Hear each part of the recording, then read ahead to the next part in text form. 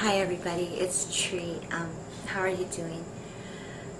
I just really, I want to tell you guys how much I love you and I swear to you, there's a miracle on the horizon um, for everybody. The pain and the suffering and the confusion, it's, it's almost, it's almost over. Just hang on a little bit longer. Hang on for dear life hang on, hang on to your identity. Your identity is so important.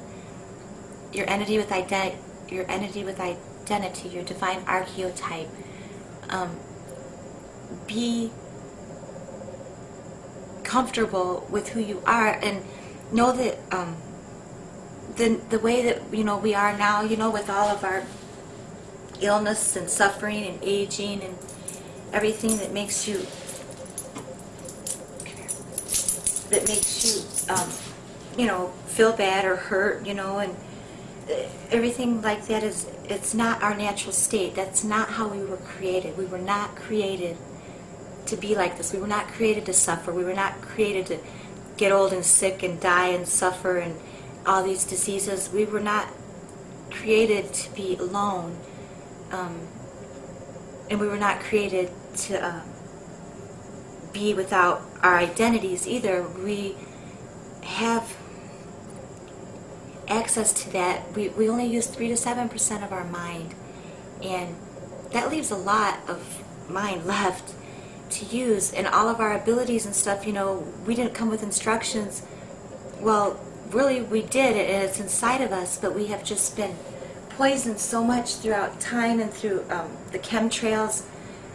You know, and all the poisons in our food and our water and those damn chemtrails. I mean, those things are, they're gassing the hell out of us. It's like we are being gassed to death. No, not to death, but it's dumbing people down. It's making us so that we cannot feel enough, to care enough, to do anything. And so people are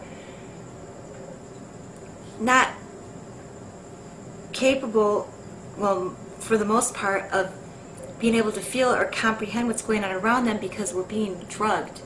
Okay, not to mention all the prescription medicines, and you don't even need a, you know, a doctor is supposed to um, prescribe a medication, you know, for something, but now on the TV they give you, uh, well, if you have this and this and this, and you probably need this, ask your doctor or whatever.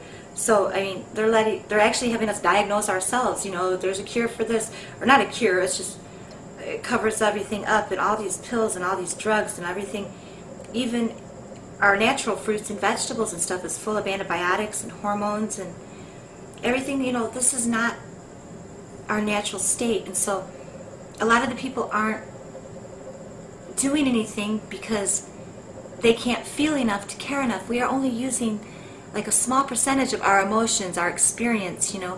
What makes us live? What makes us thrive? What makes you wake up and be um, able to get up you know, what is it for? It's because there has to be something, a dream, something to go for, something to live for. And if you don't have the dream, then, you know, people, they don't, if they don't have the dream, then they feel nothing to live for, even though we wake up, you know, like robots or what, you know, blah, blah, blah, you know, and also, you know, the experience of happiness and ecstasy in our emotions you know, when we do get those times when it feels really good or something really exciting happens or something good, you know, it doesn't last. It's only for a small time, you know. And the feelings that we have, you know, it takes a little bit of effort to do that, but to experience every emotion and every experience that you can to its fullest.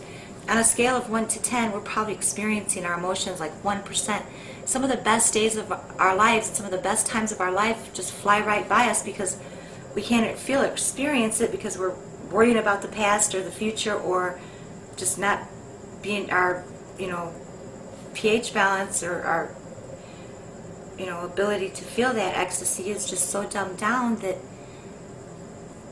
that people just, you know, are, are missing out on that experience. But if you can't feel, you're not real what makes you real is that experience, that feeling, and, and going out and seeking out things that will cause you to feel things in your emotions you know, to stimulate them because your emotion is what connects you to your spirit. It's what connects you to your soul, yourself, your true identity.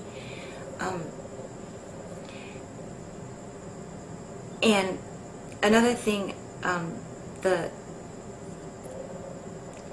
well, like the oil in the gasoline that they burn and stuff, and us having the technology for so long to be able to run our cars off of water, be able to get our electric or energy or stuff through the sun or the moon or the push and pull of the ocean.